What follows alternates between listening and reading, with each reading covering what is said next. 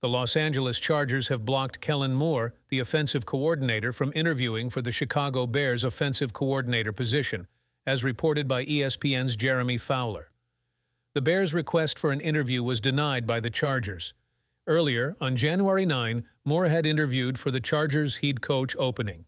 The Bears are undergoing significant changes in their offensive department, having recently parted ways with offensive coordinator Luke Getsy and four assistants.